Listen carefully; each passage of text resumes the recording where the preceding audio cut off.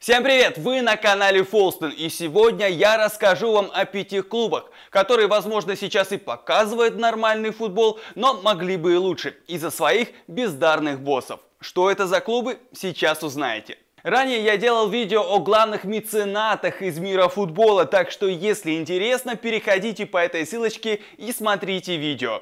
Там есть что посмотреть, я вас уверяю.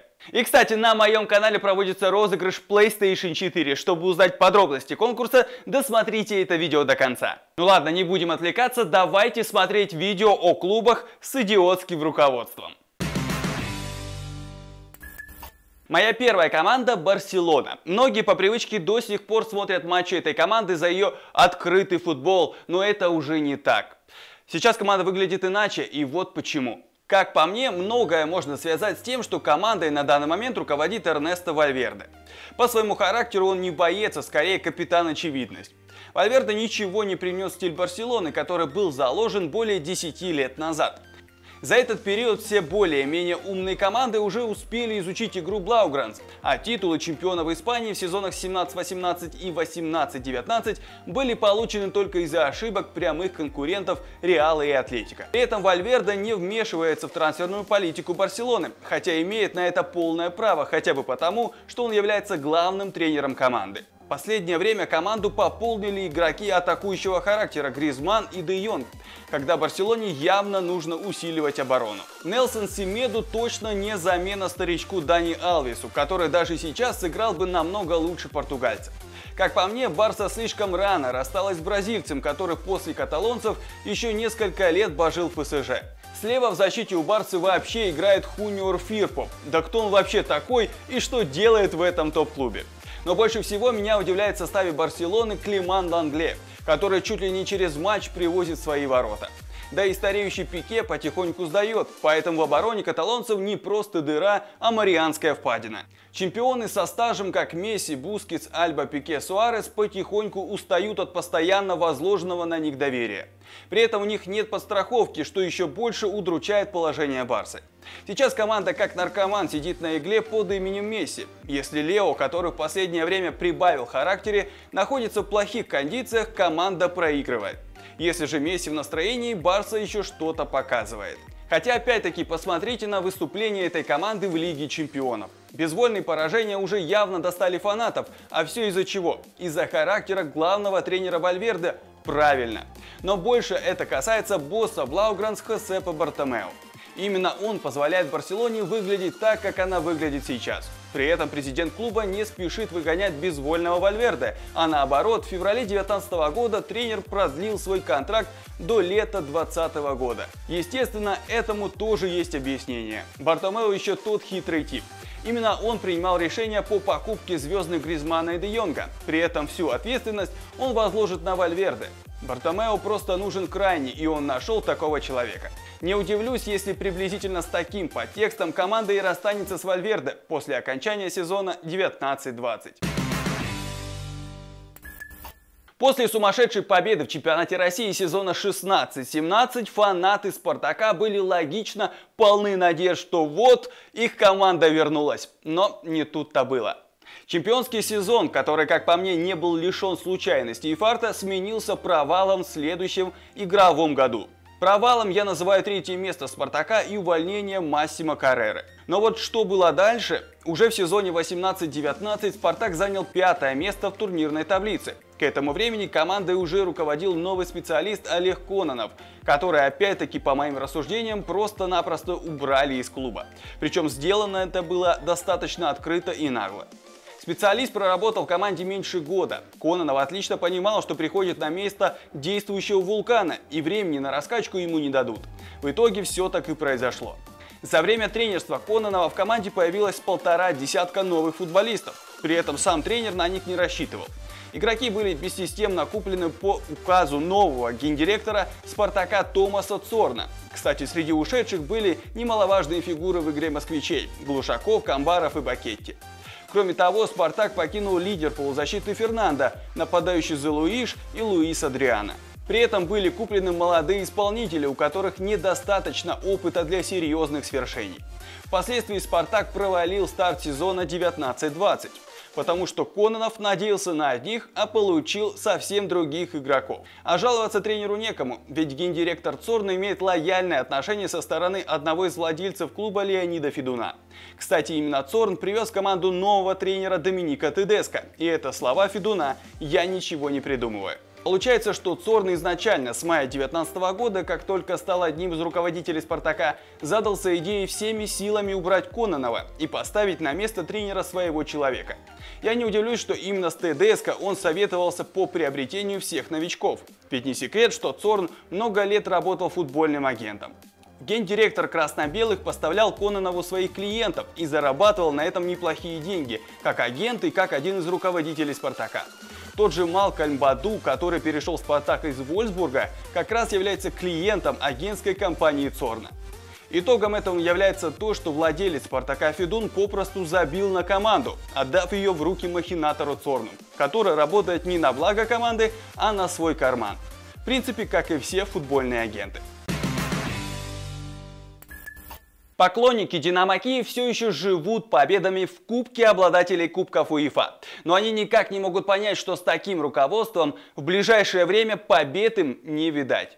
Некогда великая киевская «Динамо» все еще держится на вершине чемпионата Украины, но это не заслуга тренера или босса команды. Это общий спад украинского футбола, в котором деньги остались только у «Динамо» и «Шахтера», а эти бумажки, как известно, много что решают в этом виде спорта. Владелец команды Игорь Суркис, как настоящий патриот, приглашает возглавить «Динамо» лишь тех, у кого есть «Динамовское сердце». Если кто не в курсе, то этот термин относится к тем, кто играл за столичный клуб. Так вот, все эти сердца из года в год топят «Динамо» в вязком болоте. При этом Суркис громко увольняет каждого из них, перед этим кинув это самое болото собственными руками. Интересно, что наиболее успешными тренерами в «Динамо» за последние годы стали именно легионеры, если их так можно назвать или просто те, у кого нет динамовского сердца. Это я сейчас о Юрии Семине, с которым команда дошла до полуфинала Кубка УЕФА, и о Валерии Газаеве, который открыл Динамо глаза на Хачериде, Гармаше и Ярмоленко. Все они впоследствии стали лидерами команды, а Ярмоленко вовсе одним из самых дорогих украинцев в истории. Видя такой прогресс команды с иностранным тренером, Сурки все равно продолжает гнуть свою линию с украинскими специалистами.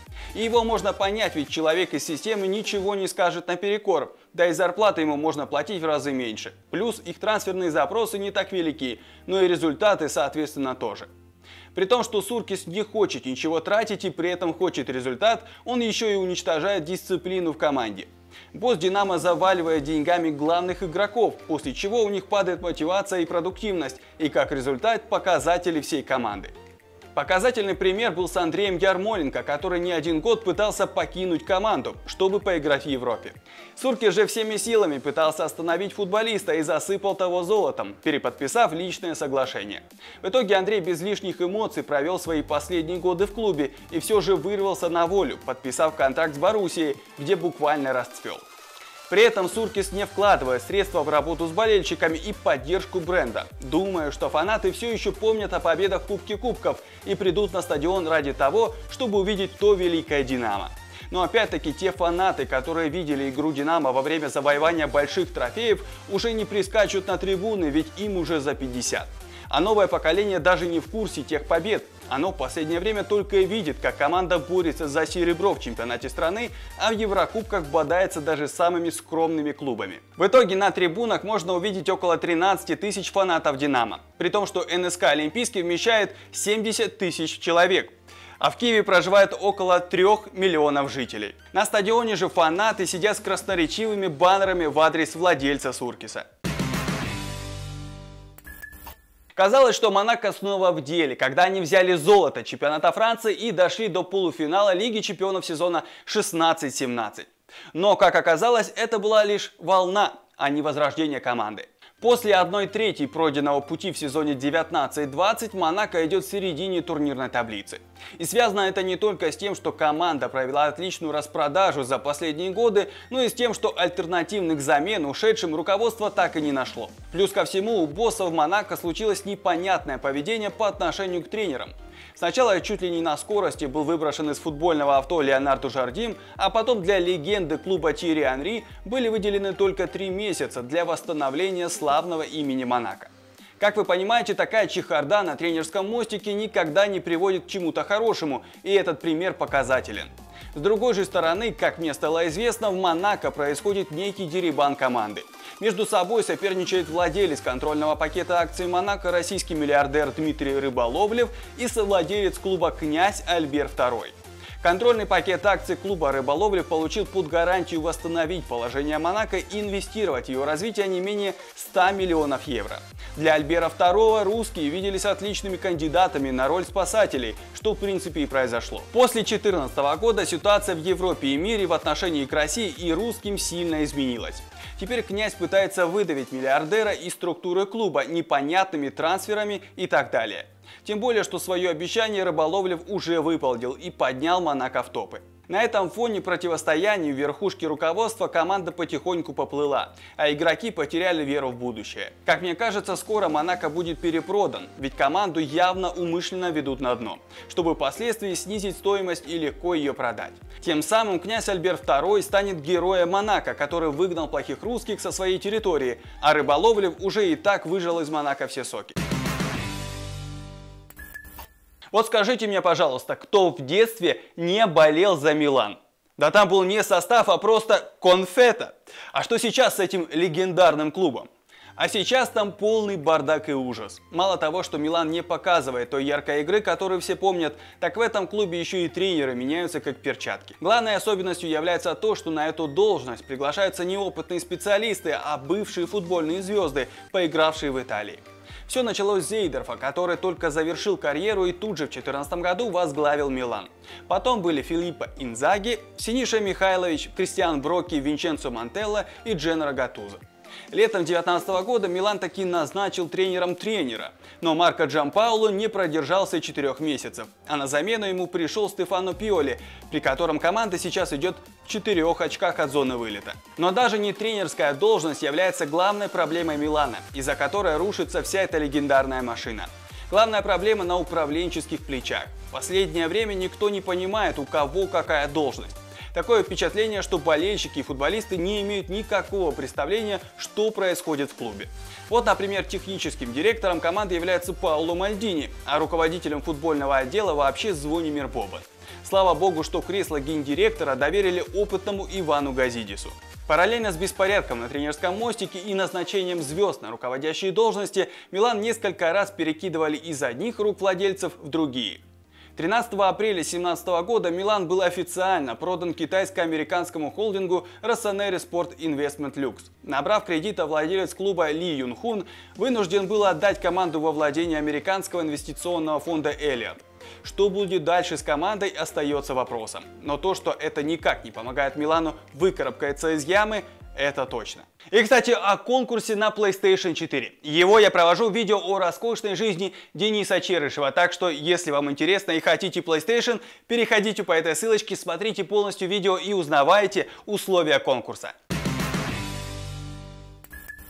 На этом у меня все, но на самом деле команд с плохим руководством более чем 5. Поэтому если под этим видео будет больше 1000 лайков, я сделаю вторую часть о таких командах. И, кстати, в комментариях напишите, где еще команды с таким тупым руководством. Если что, я возьму ваш вариант ответа. Ну а я с вами прощаюсь и увидимся в следующем видео. Пока-пока.